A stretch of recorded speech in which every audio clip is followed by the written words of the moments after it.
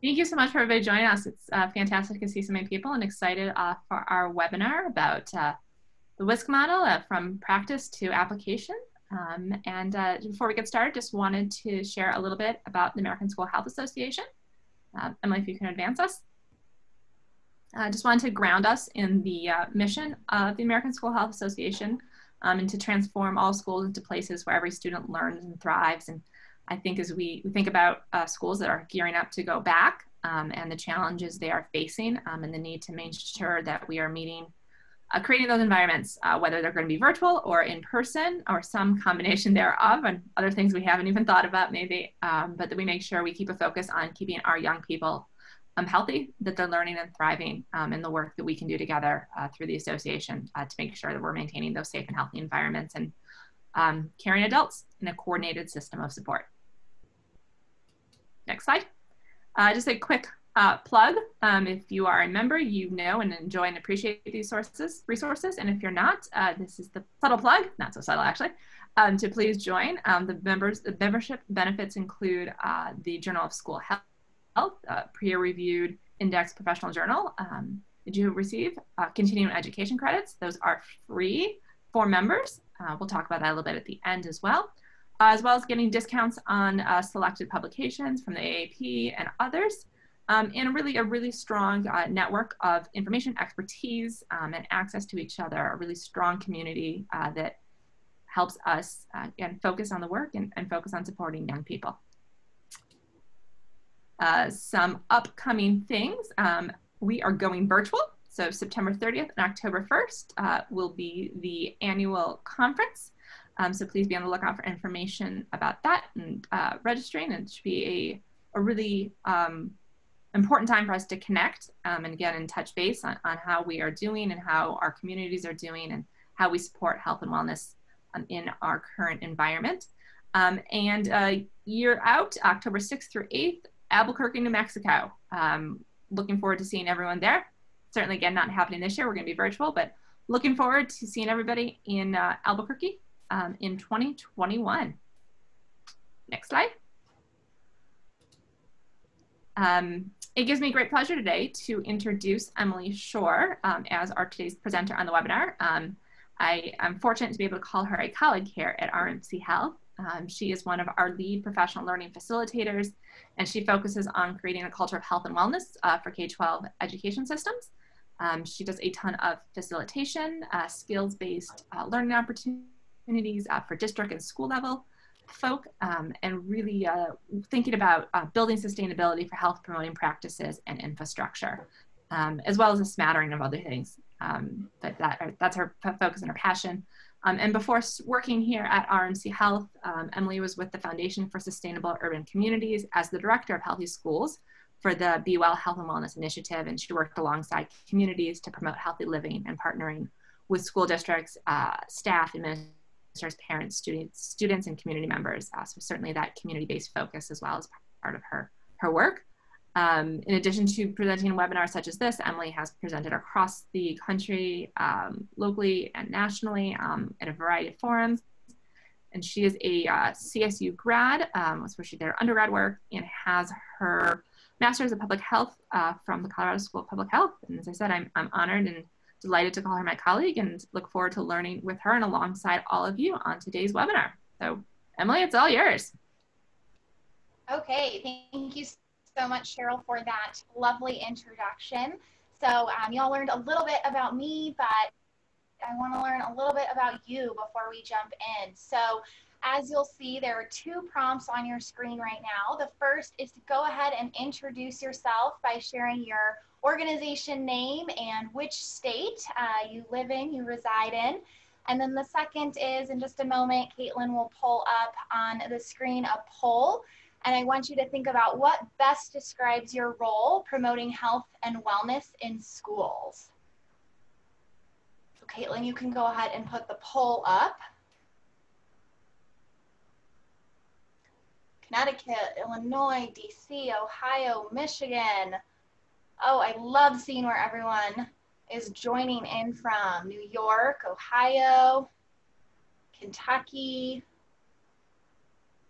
Go ahead and keep populating into the chat so we can see where all of you are joining us from, all the fabulous organizations that you work for or represent.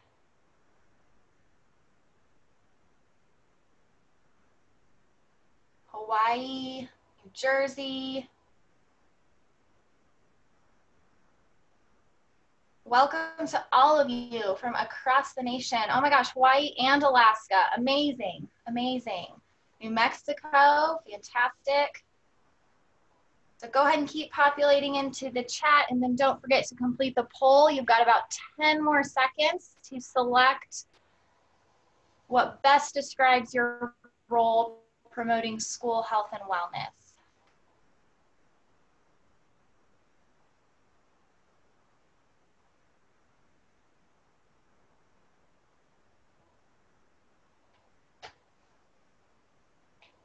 All right, we are going to go ahead and close the poll. The majority of you have responded. Um, if you can just leave the poll results up there, Caitlin, so we can see where everyone is coming from. So thank you all for introducing yourselves in the chat box. It's great to see so many school health advocates from across the nation on this webinar. As you can see from our poll, the majority of you are working at a nonprofit or a public health organization. And in your role, you're partnering with schools and districts to promote health and wellness. We also have a handful that work at a state or a federal, federal organization. So you may provide some financial support, some trainings, or some resources, either within your state or nationally, um, as well as a few of you that are working directly in schools, so directly with students, directly with families, or at the district to support schools um, and then a small handful also working at an institution of higher education. So thank you all so much. Um, as you'll learn later today, everyone has a role in promoting health and wellness. And after today's webinar, I hope that you feel confident supporting schools in your state with specific health and wellness issues. So we are going to go ahead and get started. We can end that poll and I will go on to the next slide. So I would like to officially welcome you all to today's webinar, the Whole School, Whole Community, Whole Child Model from Framework to Practical Application. You'll notice that throughout the rest of the webinar, I am going to refer to the Whole School, Whole Community, Whole Child Model as the WSCC model for abbreviation. So as Cheryl mentioned, my name is Emily Shore, and I'm a lead professional learning facilitator from RMC Health, which is located in Lakewood, Colorado.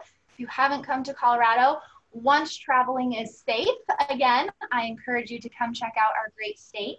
Um, RMC Health is a nonprofit organization providing professional learning and capacity building that empowers champions for healthy young people that's all of you wonderful people on this webinar. You are a champion so that students of every background can live their best lives. So the objectives for today's webinar were posted on the website and they are going to be here on your screen. The first is how to identify how the WSCC model supports positive health outcomes and academic success for all students. And our second objective for our time together is to integrate the WSCC framework to address a specific health and wellness issue.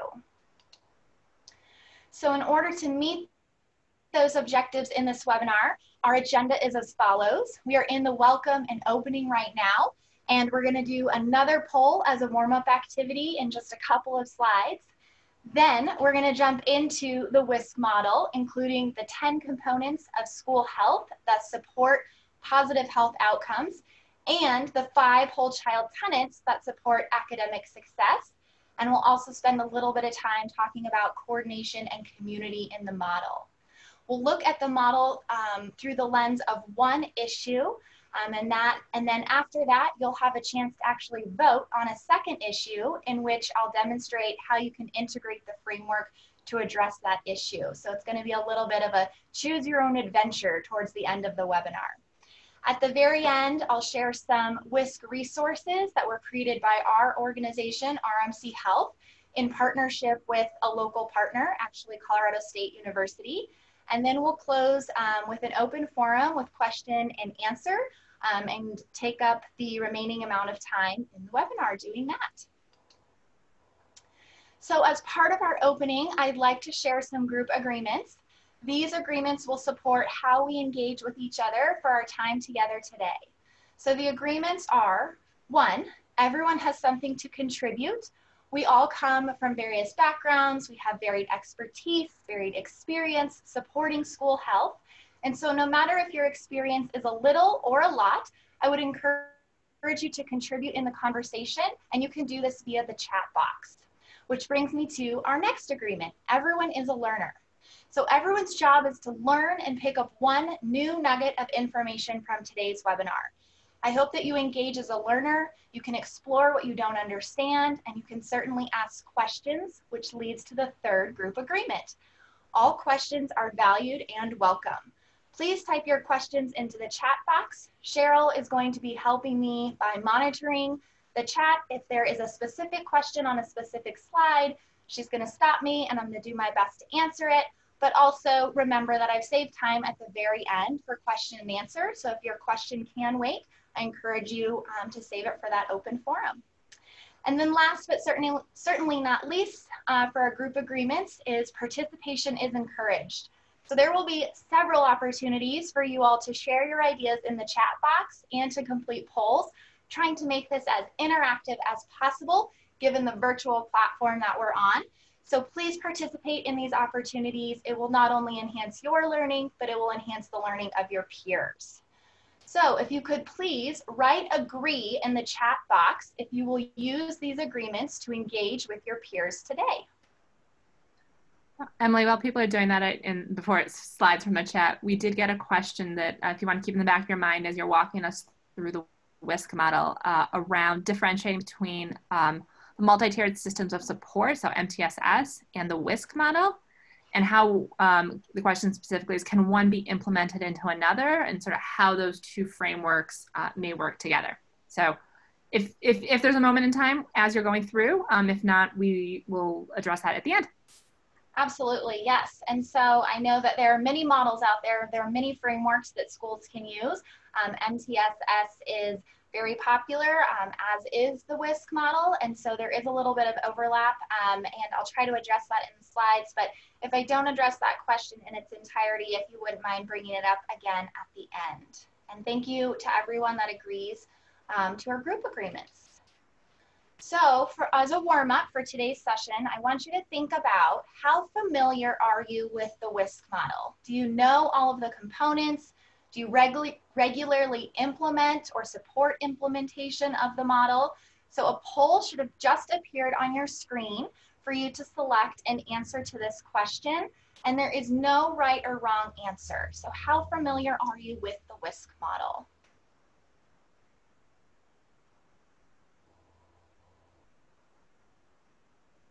About half of you have participated in the poll. I'm gonna wait for that participation to get up a little bit.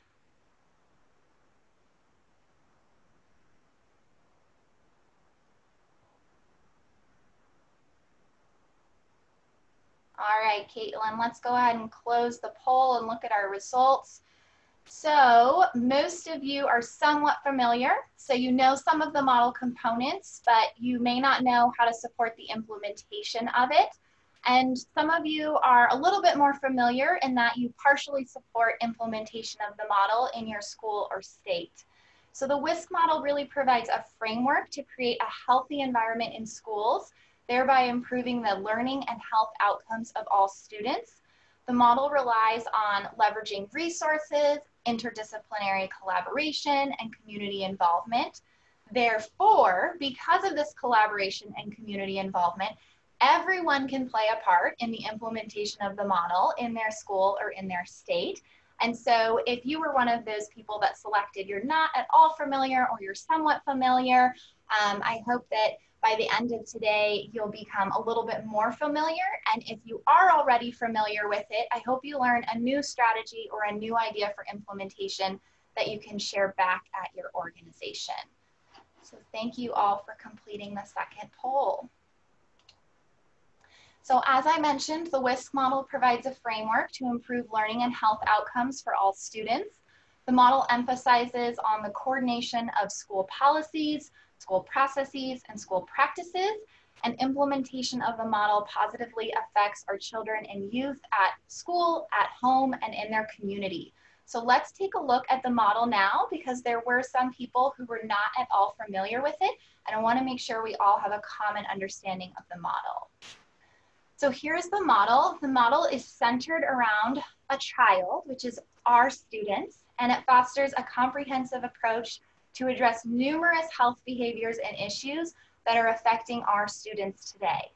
There are many health behaviors and many health issues we know our schools and our districts are struggling with across the nation, from bullying and violence in schools to substance use, misuse, and addiction, to the rising mental health crisis and rates of suicide, to physical inactivity and sedentary time in school, and to challenges that are challenges in creating safe and supportive learning environments or positive school climates. So to begin our time together today, I've selected one of those issues to serve as an example as we think through the WSCC model, and that issue is going to be bullying. But before we jump into the issue of bullying, I want to make sure we all have a common understanding around the 10 components of school health. So as I mentioned, the model relies on interdisciplinary collaboration, and this collaboration needs to exist between the 10 components listed here on the screen in order to meet the needs of and support each child. When these components start working together, they will support positive health outcomes. So we're going to review the 10 components of school health. And while I do this, I want you to start thinking about how this relates to your own work and how it could relate to our example issue of bullying in order to support positive health outcomes. So the blue ring in the model shows the 10 components of school health. The first one is health education, which describes the formal instruction that students receive at school, where they learn content and they practice skills that they need to live healthy lives. They should be learning content one third of the time and then practicing these skills at school two thirds of the time. Next is physical education and physical activity. And this refers to the comprehensive programming amongst staff, amongst family, community, and students to provide times of movement before school, during school, and after school. Nutrition, environment, and services. Many times when people think of this, they think of the cafeteria and the school meal programs, but it is much more than that. Nutrition, environment, and services includes teaching healthy eating through nutrition education, but also having consistent messages about healthy eating choices and providing healthy food and beverage options for students. These options can be through vending machines, concession stands, school stores, food carts, a la carte, the cafeteria, and should also be considered in the classroom environment for classroom parties, celebrations, and fundraisers. The next component is health services. Many times people think of nursing when they think of health services, and health services is more than nursing, it's all encompassing um, and includes first aid, emergency care in the school, the management of students' chronic conditions such as asthma or food allergies or diabetes. Health services includes screenings, so hearing screenings, vision screenings, BMI screenings, as well as referrals to providers based on those screening results. Then there's counseling, psychological, and social services, which supports the mental, behavioral, and social and emotional health of students. This is done similarly through health services where there is an assessment to be done on a child, then possibly an intervention and a referral to support services. These referrals can be within the school or district as well as externally to partners. Our next component is social and emotional climate. And this refers to how students engage in school and how they relate to staff and other students. So what is being done in the climate to increase interactions between staff and their peers. And then we have the physical environment, referring to the physical condition of a school, especially in terms of safety. So thinking about the land as well as the hallways and the classrooms. Next is employee wellness, which is twofold. Employee wellness is about fostering the health of staff to increase employee effectiveness and productivity. So what specific policies, practices, and programs are in place for employees' own health and wellness benefits, as well as how are employees serving as healthy role models to the students in the school building. An example I always like to give for this one is if you have a practice around um, drinking uh, water throughout the day, it's important that your employees are also drinking water. So if you're encouraging your students to drink water, you're also drinking water. You don't have a sugary sweetened beverage or an energy drink on your desk, that you're role modeling the healthy behavior for students. And then we have family engagement, which is working together with families to support their students, their children in learning and development, followed by community involvement, which is our last component here, that encourages partnerships between a school and other community groups. These community groups could be local businesses, universities, government agencies, or really any other organization that supports students. So I want to get a sense of which components are represented on this webinar. So consider the support that you provide to your schools or the support that you provide to your state in terms of health and wellness. A poll will appear on your screen in just a moment, and I want you to select the component area or component areas that you provide support in.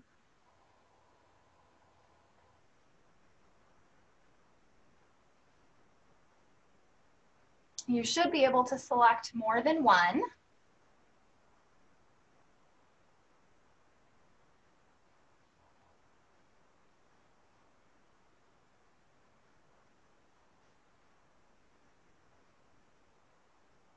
Got about a little over half of you that have participated.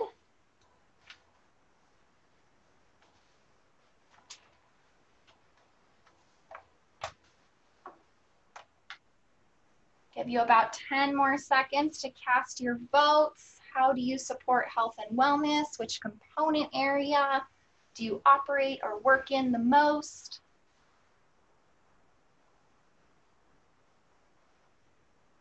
All right, Caitlin, we can go ahead and close the poll. Let's look at our results here.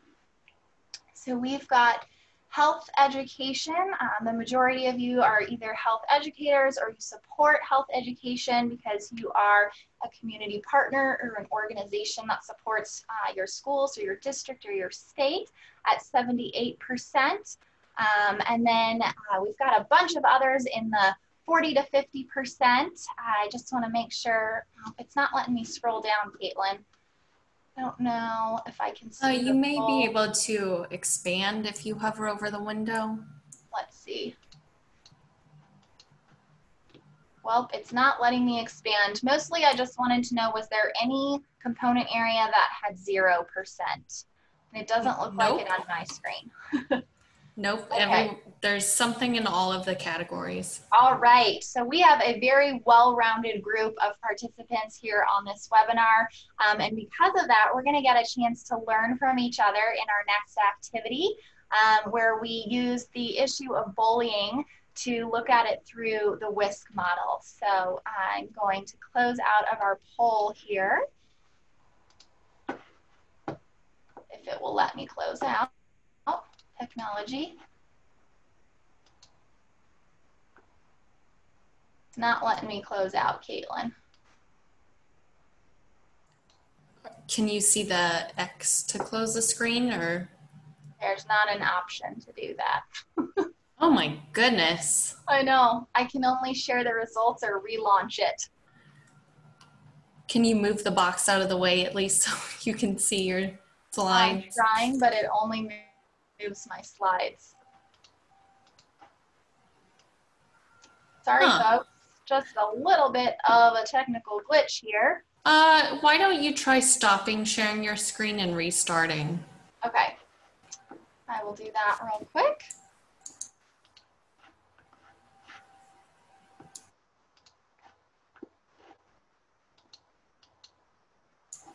Still the same? Yep. And you aren't able to move the poll. Oh, wait, there we go. Okay. Are we back? We're back in business, everybody. Whew. Thanks for your grace. Okay, so as I was saying, it's now time to acknowledge your experience and your expertise that you bring from all of those 10 components of school health.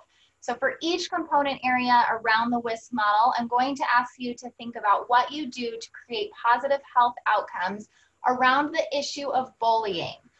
So for those of you that selected health education, what is it that you do within health education or what have you done to create positive health outcomes around bullying?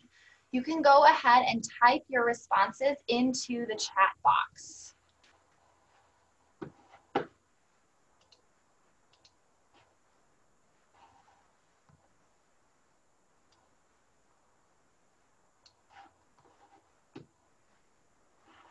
So I have um, doing focus groups, working with students to promote bullying prevention, teaching lessons on interpersonal communication, so a health skill, health standard, a lot of education, a lot of teaching, social skills, empathy, doing skills-based health education, right, which we talked about is super important, that your content is a third of the time and skills are two-thirds of the time. Social and emotional learning classes that are specific to bullying. Awesome, so you can go ahead and keep populating your responses into the chat and I encourage you as peers to read what others are doing. I see a lot of teaching and a lot of skills-based. So in addition to what was shared in the chat box, or I guess to rather reinforce what some of you have shared, here's a couple of examples. So within health education, educators can teach students assertive communication strategies to set boundaries for how they want to and do not want to be treated. So that's the, the teaching component, and somebody talked about um, SEL and um, health education within health education as well as educators can teach students problem solving skills to avoid aggressive or harmful responses to conflict, and then allow students to practice these skills. So I think all of you um, pretty much put that into the chat box. So you um, picked up that it should be teaching content as well as allowing practice time. And continue to read what your peer responses are because there's a lot of really great ideas in the chat box. So let's go to the next component. For those of you um, who support health and wellness within the physical education, physical activity component, I want you to think about what do you do or what have you done to create positive health outcomes around bullying? And go ahead and type into the chat box.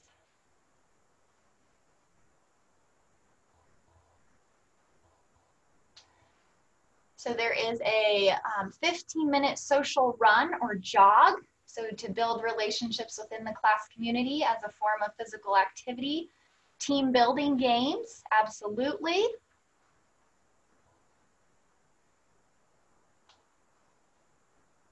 I know there were a bunch of you that selected physical education, physical activity. Maybe you're just trying to think in terms of bullying.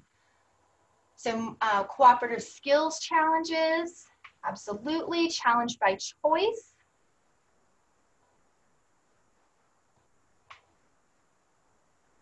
Allowing students to bond in supportive environments. Things that promote cooperation. Awesome. Go ahead and keep populating those. I'm going to show you a couple of examples that we had. So in addition to what's shared in the chat box, equip you with a few more um, strategies here on the WSCC model. So for physical education and physical activity, our educators can design and implement lessons where all athletic abilities are valued. So we can try to prevent bullying by doing that, as well as facilitating lessons with non-elimination games. And I think a couple of people um, wrote that in the chat, making sure that we have really supported safe time. I see something about recess as well. So yes, Lots and lots of good strategies there. All right, you're gonna get the flow of this real quick. So now, for those of you that have selected the nutrition environment and services component as a component in which you support or work in, I want you to think about what you do or what you have done to support positive health outcomes around bullying. And you can go ahead and type your responses into the chat box.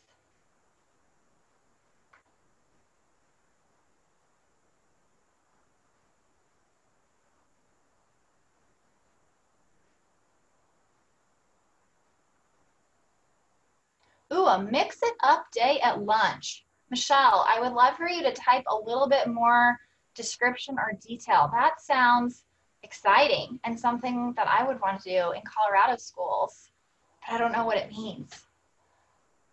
So bringing healthy fruit snacks for students, creating positive and safe environments in the school cafeteria. Susan, if you have an example of that, I'd love to see a specific example. Culturally responsive taste testing, absolutely. Now the, now the comments are coming in so fast, it's hard to keep up with them. Don't yuck my yum mantra. I have heard that um, in many states. So kind of having a um, group norm or a classroom agreement around don't yuck my yum. Taste testing with students encouraging students to sit with someone they don't know. Yeah, keep it up. Here, I'm gonna give you a couple more examples. So within nutrition environment and services, something you can do is um, the school can implement practices that reduce the stigma for reduced cost meals.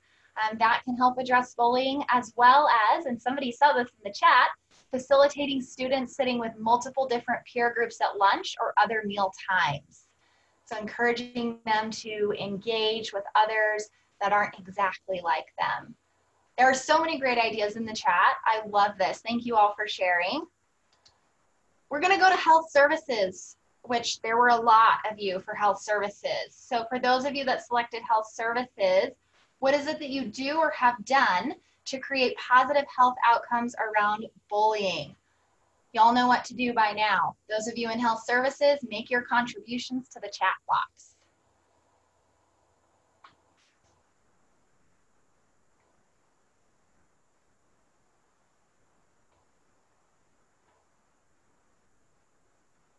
And yes, Stephanie captured um, one of the strategies we had on the last screen. So free food to reduce the stigma, um, Susan, thanks for sharing the idea of teachers sitting with their students, engaging with their students at mealtime.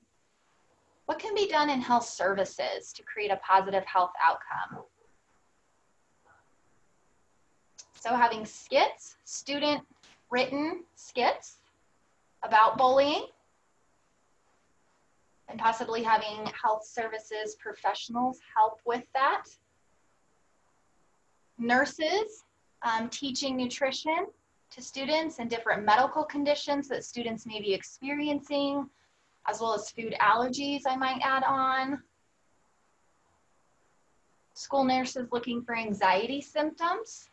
That might come off as a physical symptom for bullying. I'm going to show you all a couple that we have here. You can go ahead and keep typing into the chat. So in addition to what was shared in the chat box, Within school health services, personnel can provide stress coping strategies as a, as a part of a routine health service. So I shared some of those routine health services might be hearing screenings, vision screenings, BMI screenings. So at those screenings, at those services, providing stress coping strategies to all students, as well as adding some additional screenings for aggressive behaviors and signs of bullying. And then furthermore, within health services, um, establishing a confidential data system that can track and analyze bullying incidents over time. So school nurses could help with that tracking system um, in partnership with the front office or leadership or administrators. Lots of great responses in the chat. I'm getting distracted by your responses. Everyone is so great. Okay, counseling, psychological, and social services, you are now up. So what is it that you do or have done to create a positive health outcome around bullying? Go ahead and answer in the chat box so we can all learn from one another. As a reminder, one of our group agreements is that everyone is a learner, and that includes myself as the presenter and the facilitator. So I am also learning from all of you. a peer meditation program, peer mentors, ally groups, teaching guidance lessons on bullying, active listening. What else can counselors or social workers do? A P3 group, positive peer pressure student led.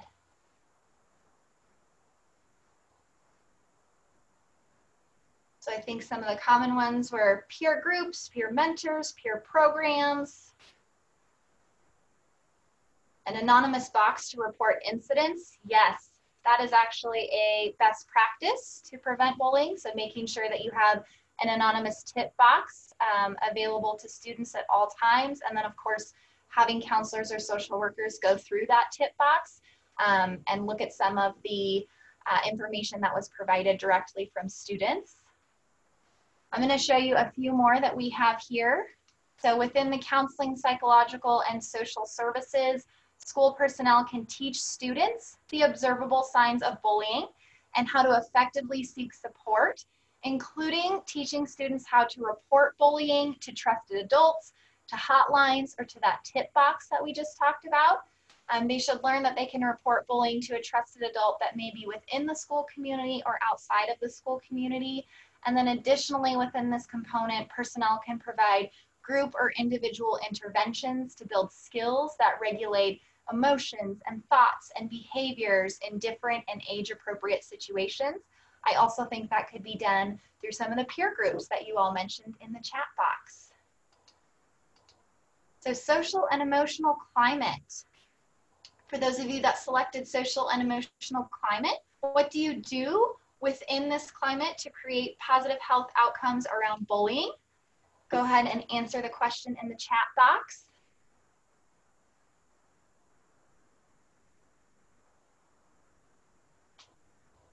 So classroom management programs. Not sure if that was for the last one or this one. LGBT allyship and support by staff and students. present in spaces where kids are passing so that you can listen, you can observe, and you can um, act on those teachable moments. Doing SEL curriculum and activities, so social and emotional learning curriculum and activities, yes. Teaching students about mindfulness, doing trauma-informed practices, yes, keep them coming. So in addition and to reinforce what you have in the chat box within the social and emotional climate, schools can assess the social and emotional competencies, so such as self-awareness, self-management, social awareness, relationship skills, responsible decision-making. Um, the school can integrate the explicit teaching of social and emotional skills into curriculum and provide students time to practice these newly learned and acquired skills in a safe environment. And I think Many of you mentioned SEL, many of you mentioned uh, making sure that the environment is safe, and you'll also see some other um, curriculums and mention of LGBTQ+, um, so making sure that it's a really safe space for our students.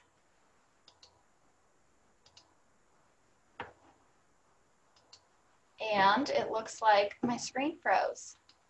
I'm not able to advance. Technology.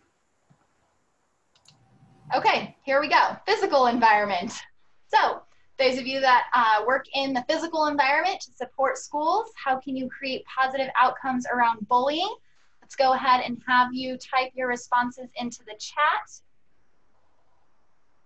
So SER LCL skills the same as health education skills. So um, CASEL, C-A-S-E-L, has um, SEL skills and they overlap a lot with um, the um, health skills, the National Health Education Standards. So there is some overlap there.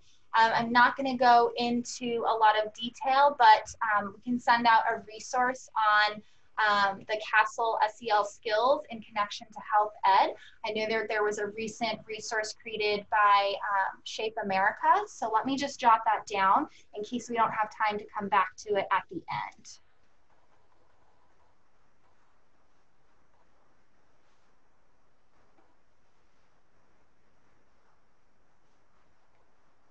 Okay, and so we've got um, being present in the hallway during passing periods, creating safe spaces, decorating the school with posters and post-it notes and sidewalk chalk. Yes, absolutely. So um, we have many of the same examples here on the screen. So um, we have, you know, the same as you using visuals, um, but you can also communicate your expectations around bullying-free environments. So posting those visuals in bathrooms, on ball fields, in the cafeteria, stationing staff in the hallways or other common areas where there is a potential for bullying um, and doing a positive intervention there. You all mentioned that in the chat. And then the last one is sealing off secluded areas so students, staff, and visitors feel more secure on school grounds. All right, we have just a few more components. So employee wellness is the next one. Those of you that support employee wellness, what is it that you do or have done to create a positive health outcome around bullying for employees?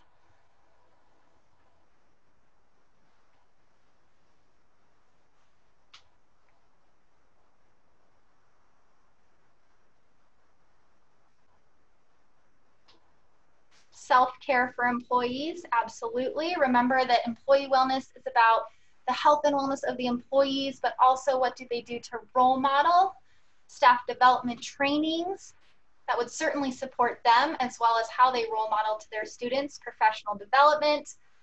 Absolutely. So you all have named them. So providing trainings or giving resources to staff. This could be specific to recognizing and responding to bullying in personal and professional settings, as well as encouraging all staff member staff members to model and reinforce healthy communication and what healthy relationships look like within and between each other as employees and also with their students. We've got two components left here. Family engagement, what do you do? What have you done within the family engagement component to create a positive health outcome around bullying? Go ahead and put it in the chat. There were many other responses to employee wellness about empowerment, programs that staff can participate in, weekly Wednesday wellness tips. Yes. What about families?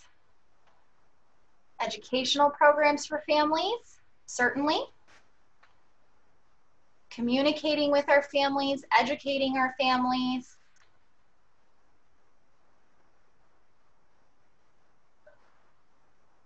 Community presentations, yep, and sometimes that dips into our community involvement component. So let's take a look at family engagement here.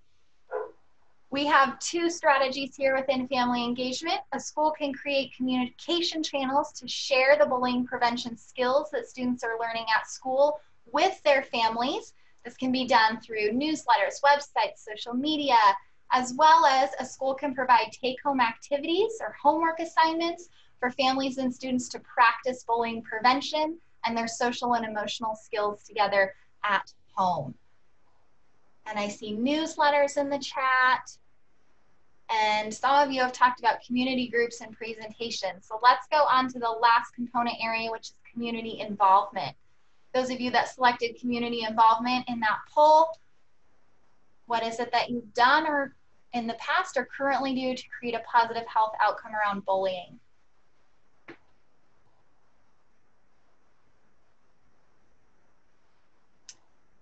And many of you have mentioned community partnerships, partnerships with community groups, presentations from community partners, guest speakers,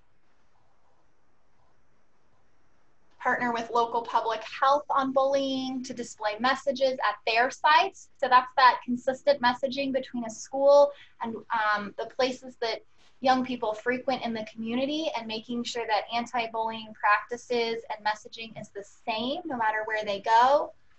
Yep, keep them coming. So here's what we have as a couple examples. So within community involvement, a school can create opportunities um, in guiding, delivering, and or tracking bullying initiatives, and then making sure to align policies and practices with after-school providers. So if you have a YMCA or a Boys and Girls Club, whatever the, whatever the bullying policies are at school could mirror what they are in the after-school providers. Excellent. Thank you all so much for participating. So we just identified how the WSCC model supports positive health outcomes by individual component area. We're going to look at how the WSCC model supports academic success by tenant. So in the green ring uh, around the student are the five tenants of the whole child. They are healthy, safe, engaged, supported, and challenged. Healthy is the first one, meaning students will enter school healthy and learn about a healthy practice and lifestyle. We know that emotionally and physically healthy students do better in school. Safe means that each student will learn in an environment that is physically and emotionally safe. Many of you mentioned some of the safe practices that you can do in the chat box. Students who feel safe are going to concentrate better and are more likely to connect with their te teachers and with their peers. Being engaged means that each student is actively engaged in their learning and feels connected to the school and the broader community. Students who feel valued as a part of their school community perform better academically, so that connection to academic success. Supported means that each student has access to personalized learning and is supported by qualified caring adults. Students who have an adult take a personal interest in them are less likely to drop out less likely to engage in negative behavior, and less likely to feel isolated. Many of you put strategies in the chat about um, how adults can um, be more caring towards students through post-it notes and kindness messages and kindness boards. I thought that was amazing. And then challenged means each student is challenged academically and that they graduate college or career ready. So I'm just going to go through the next part of the WSCC model pretty quick. Um, there's a white ring that's between the five whole child tenants and the 10 components. And this white ring is the coordination of policies, processes, and practices. And it really helps put the model into action to lead to that improved learning and health outcome. Coordination is um, among the component areas, as I mentioned, and among the community is critical. It provides a way for a school to leverage resources, reduce duplication of efforts and programs, and fill in any gaps um, to address priorities that a school or a district has. And one of the best strategies for establishing coordination is to expand an existing committee or create a committee or team that has representation from as many of the WSCC components as possible. The work is not meant to be on the shoulders of any one teacher, any one nurse, any one department or profession. It really is a whole school approach with every child and every student playing a role.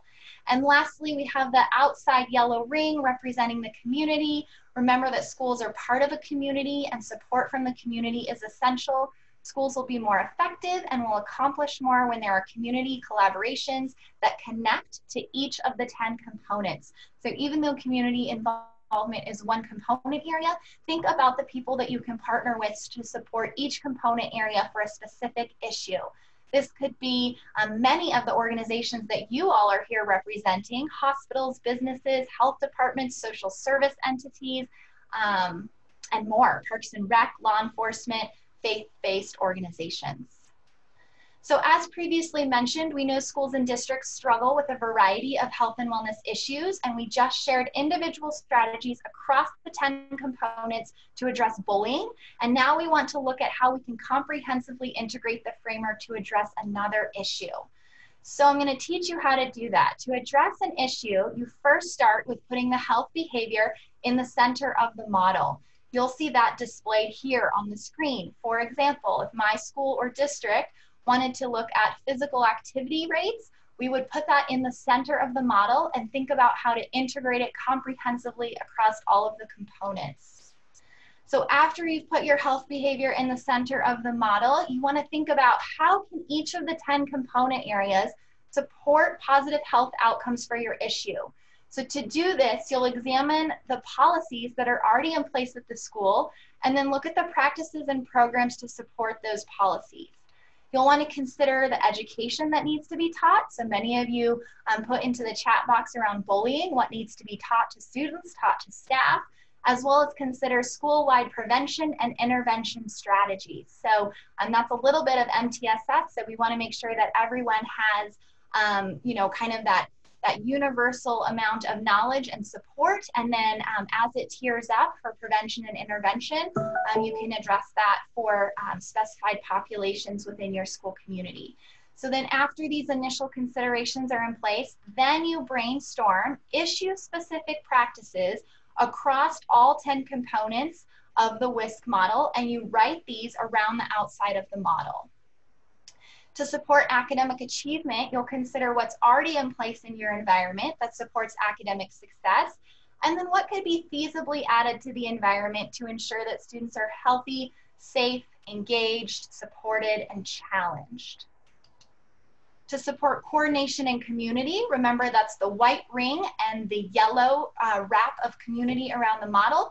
I mentioned you partner with various groups and you do this to reinforce healthy messages and or to receive supplemental support. So remember that a school is not solely responsible for the issue in which they are trying to address. The community also plays a role in integrating this framework. So we're gonna do a really quick poll. It's gonna appear on your screen and you get to choose your own adventure. So choose a health behavior or issue that you would like to see integrated into the WSCC model for the remaining amount of time. Your um, issues to choose from are physical activity, substance use, suicide, um, or how to create a positive school climate. Question in the chat if the slides will be available. I can absolutely send a copy of the slides to Caitlin and she can send them out in the follow-up email. So let me make a note um, for that.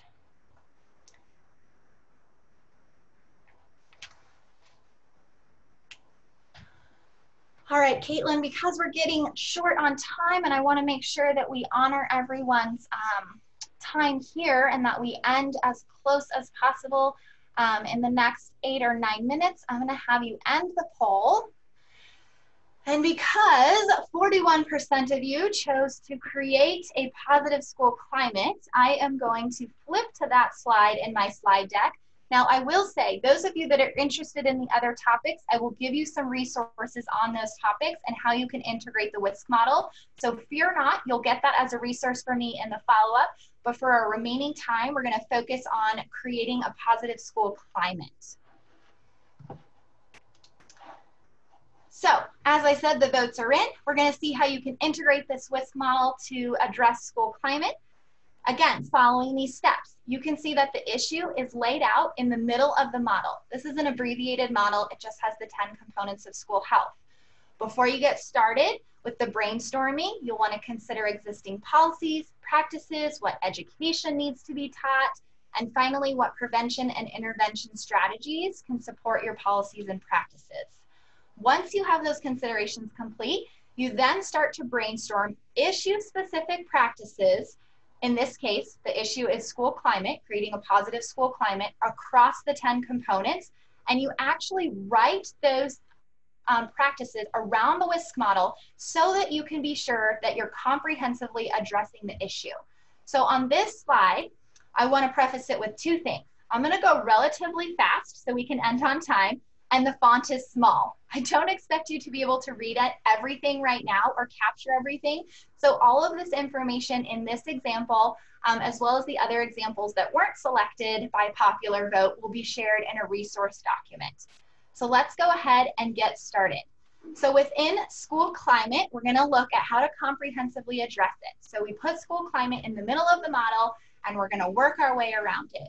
So for health education, integrating explicit teaching of pro-social behavior and allowing students the opportunity to practice these behaviors, as well as explicitly teaching social and emotional competencies.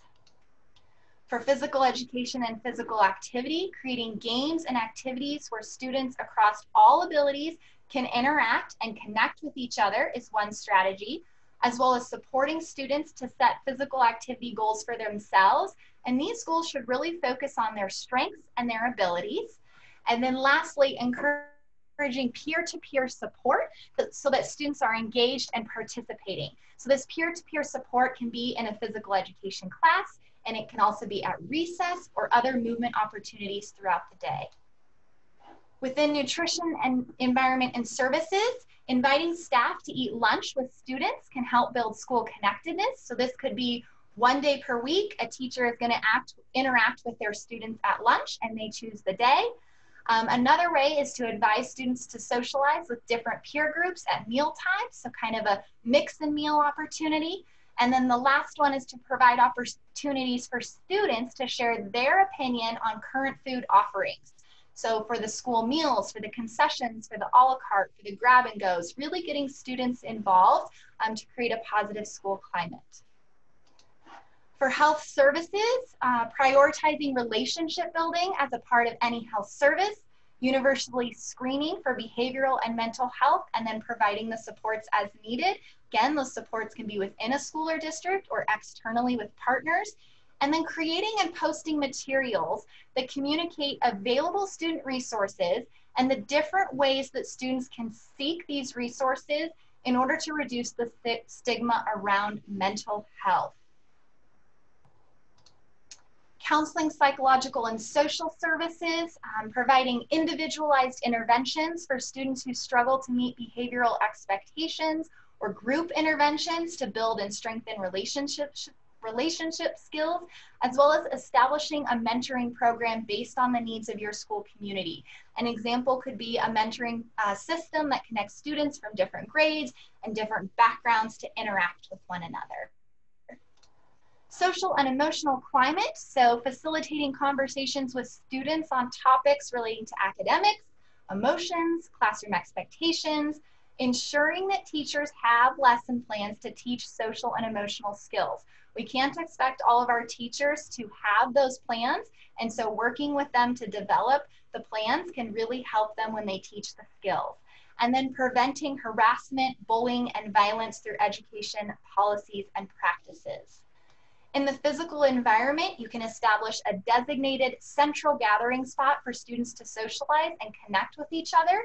This should be a safe spot, a well-lit spot, um, a frequently trafficked spot by staff, as well as using visuals throughout the school to communicate academic and behavioral expectations, and performing regular building maintenance. So changing light bulbs, painting the interior and the exterior, maintaining the landscaping, picking up trash, as well as maintaining organized classrooms.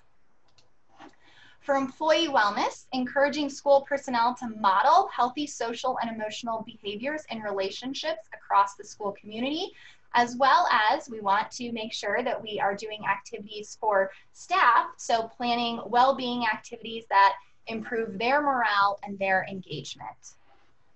For family engagement, communicating the school's student behavioral expectations to families. This could be in a variety of communication formats and methods. Regularly surveying families for their perceptions and suggestions about the school climate. So you saw in nutrition environment, we were having students surveyed and students providing their thoughts. We also want to do the same thing for families. And last but not least, community involvement. So coordinating referral systems with community health providers um, and crisis response units. It can be as well as educating adults in the community to volunteer at the school to help build supportive relationships um, and building that overall um, sense of belonging and connectedness that respects different cultures and doing that with your community partners. So we are about out of time. So I mentioned at the beginning of the webinar, I would share some resources and I wanna make sure that you get those.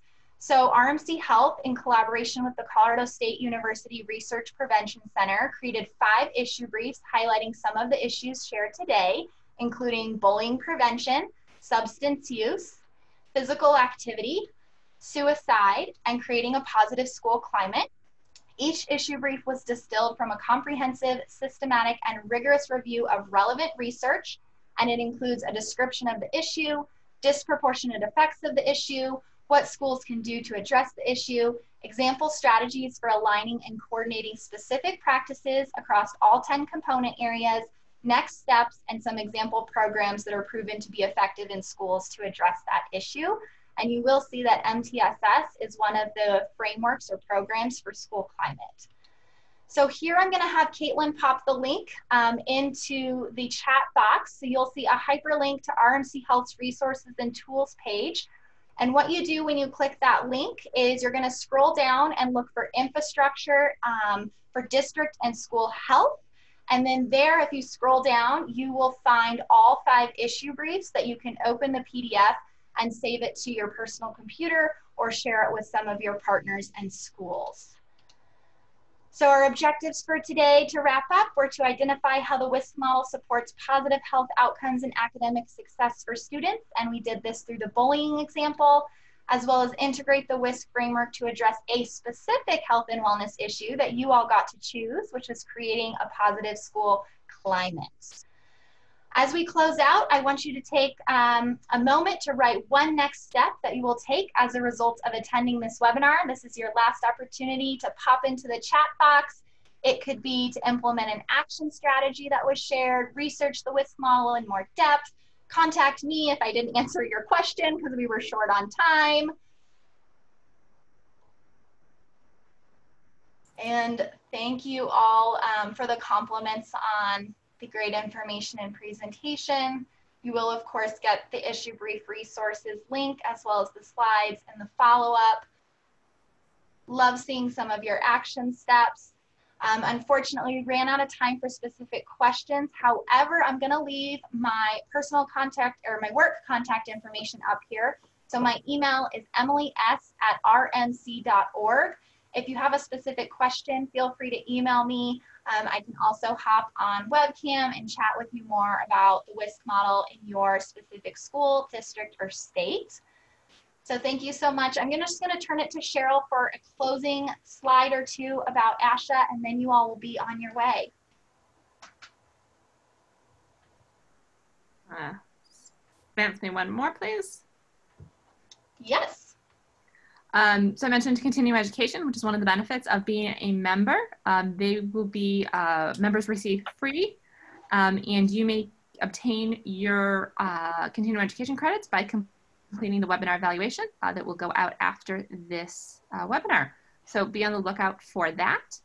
And I think I've got one more slide um, to plug some additional upcoming webinars that are being hosted uh, Food Allergy 101 on in August, uh, breast health and how to get in and the Get in Touch Foundation in September. Oh, we got two in September.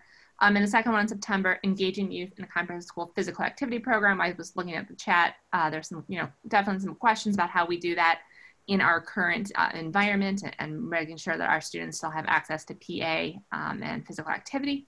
So, um, but put those mark those on your calendar. We look forward to seeing you, and uh, you can access anything else uh, from the web. Um, so be in touch, and thank you for joining us today. And thank you all for hanging on three minutes past our closing. Um, there was just so many great ideas in the chat. I wanted to share them all, and we spent a lot of time learning from one another uh, and being really engaged today. So thank you all so much for being engaged. I hope you have a lovely rest of your week, and I look forward to connecting with any of you that uh, that want to reach out to me. I'm here to help and look forward to connecting with you further. Thank you so much. I hope you have a great rest of your day. Thank you both, Emily and Cheryl.